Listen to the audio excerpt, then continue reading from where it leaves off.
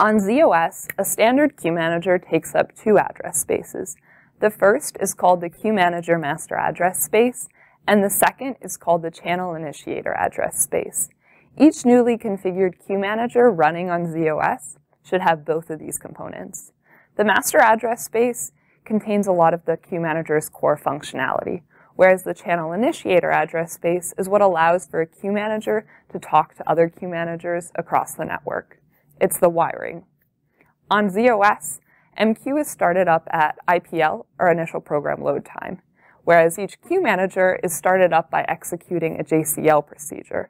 This procedure specifies the z/OS data sets that will be necessary, like the logs and the page sets associated with the queue manager. The channel initiator is started by executing another JCL procedure. Each queue manager is associated with its own queue manager master address space, the master address space comprises of a local queuing component, manages local subscriptions for the pub sub engine, as well as MQ API calls. The queue manager master address space interacts with connecting applications, so it understands how to implement the MQ APIs.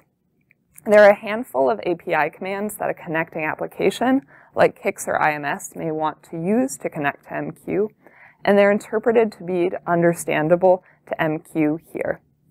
The local queuing component is the part of the queue manager responsible for interacting with z/OS. Local queues take advantage of physical storage associated with z/OS. For example, buffer pools, page sets, and logs, as well as operating system primitives.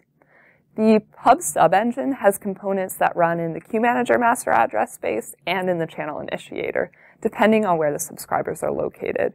If all the subscribers are local to the queue manager, then the channel initiator components are not used.